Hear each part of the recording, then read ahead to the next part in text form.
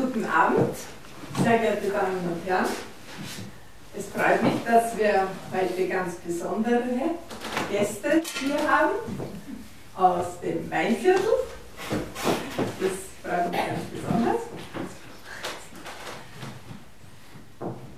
Sie sind hier ähm, bei einer weiteren Darbietung der Serie Do Transat.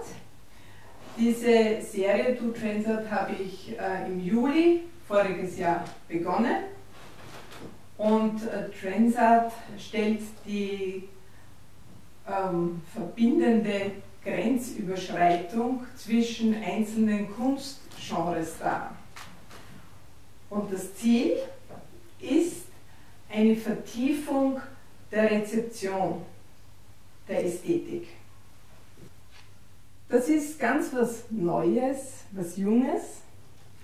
Und da ist es ganz besonders, dass von Monat zu Monat diese Transart Performance überdacht wird, reflektiert wird. Und darüber hinaus braucht es ein Publikum, das auch hingeführt wird zu dieser neuen Kunstform. Und es freut mich besonders, dass Sie heute da sind und selber aktiv tätig sein können. Dominik Gruber ist Hornist.